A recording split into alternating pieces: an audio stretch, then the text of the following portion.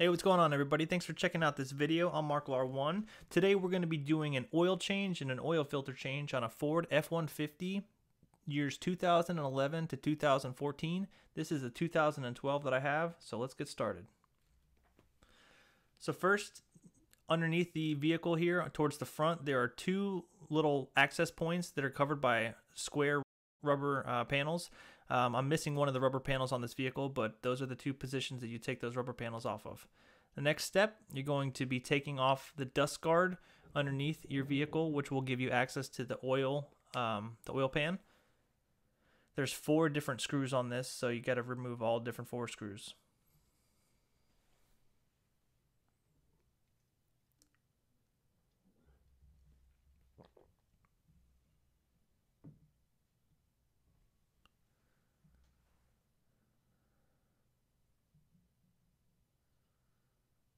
And once you remove it, move it out of the way so you can get your oil pan underneath there. Next, you're going to locate the bolt on the bottom of your oil pan. I have used a 5 8 ratchet here in order to take off this bolt.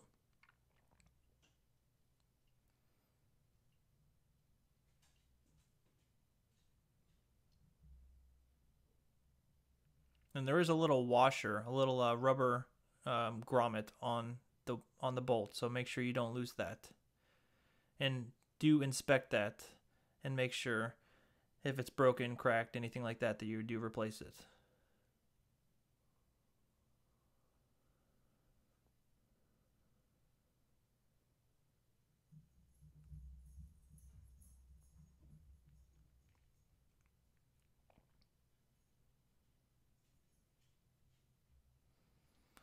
Now watch out for your oil.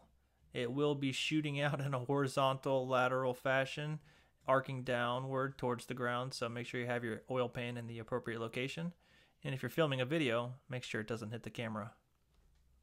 Also, once you have all the oil drained out, replace that bolt, screw it on nice and tight. Now we have underneath, we're going to do our oil filter change. There's another dust guard we need to take off. There are four, I think there's four different plastic tabs that you unscrew here in order to gain access to your oil filter.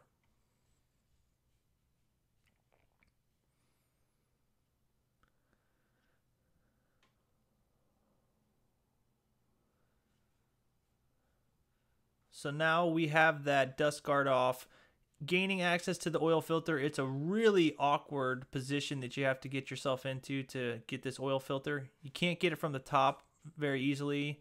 You have to get it from the bottom and you kind of have to lay on your back in order to get it. So reach up underneath there, you'll find it, unscrew it counterclockwise, righty tighty, lefty loosey, and um, make sure you just don't dump oil all over your face because that oil filter is full of oil.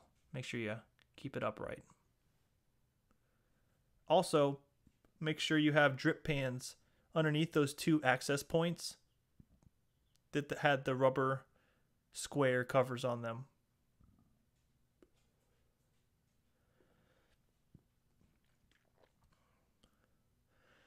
There's our old oil filter and here's our new oil filter. Compare the two, make sure that they are the correct size. You do not want to put the wrong oil filter on your vehicle.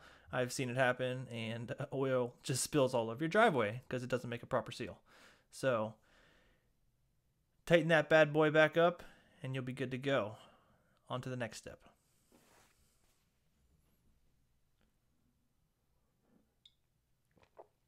It is a really awkward position that you have to get yourself into, so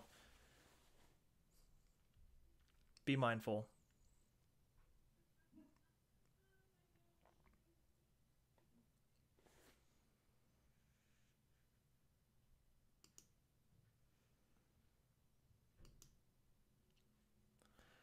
After you have your oil filter installed properly and tightened, you're going to reattach this dust cover with the plastic attachments.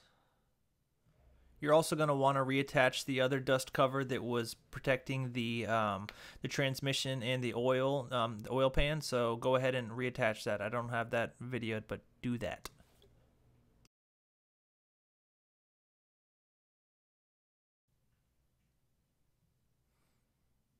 Next, reinstall your rubber covers for those two access points where oil drips out of.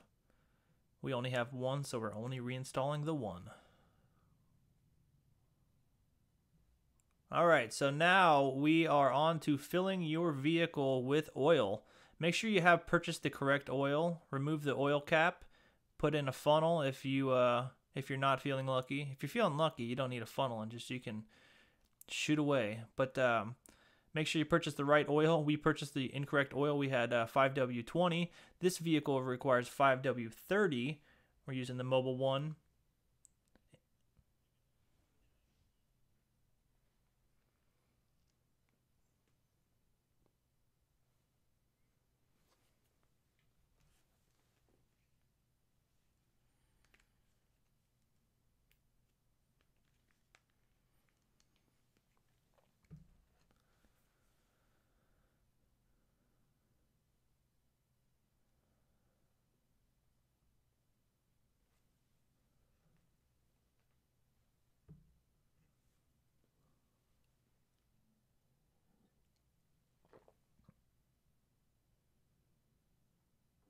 Make sure you add the appropriate amount of oil to your vehicle. I think this takes six quarts.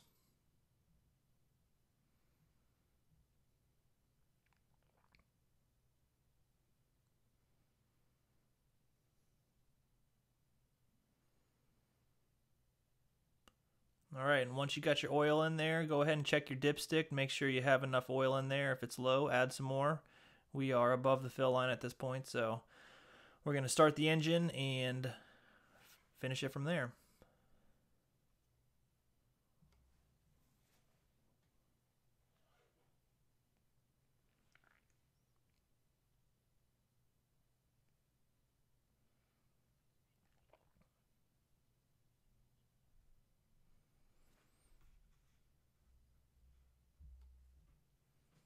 Remove your funnel, replace your cap.